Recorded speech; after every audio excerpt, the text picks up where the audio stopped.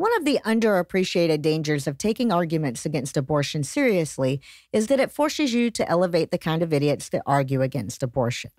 And we're seeing that more and more as America's rights slip further into the grips of anti abortion extremists.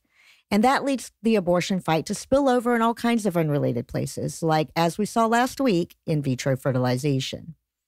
Now, the reason anti abortion activists say they're against IVF is that it creates embryos that are routinely destroyed or frozen.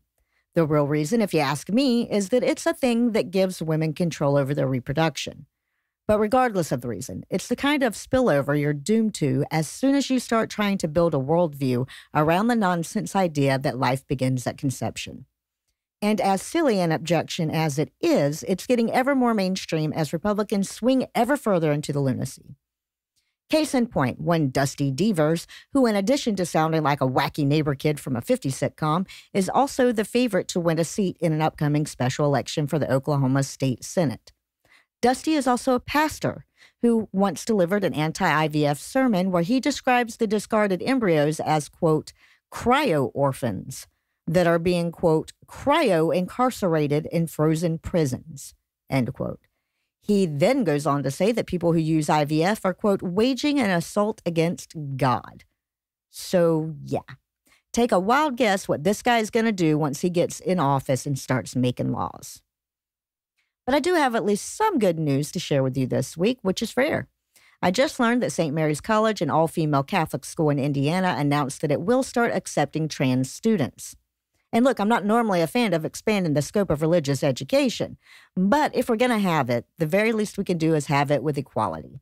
And this is a step in that direction.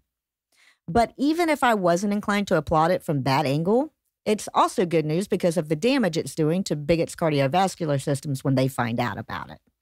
Because look, this is hardly unprecedented. A lot of Catholic colleges admit trans students, including at least 22 all female Catholic schools.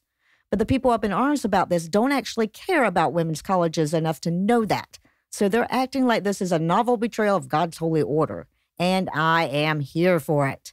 The bishop that runs the diocese that the school is in has even made noise like he might strip the school of its official Catholic designation.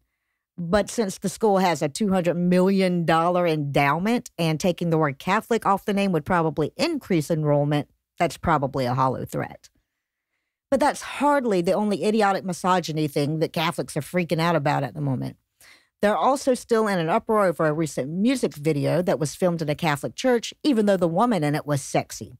Specifically, when Sabrina Carpenter did a video where at the end, there's a lighthearted funeral scene for her past boyfriends where they're all in pastel coffins, and she's dancing around in an outfit that, while covering her almost completely, still does so in a sexy way.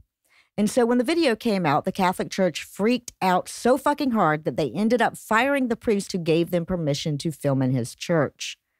So, yeah, it's demoralizing to see my gender repeatedly diminished by one of the world's largest and wealthiest institutions.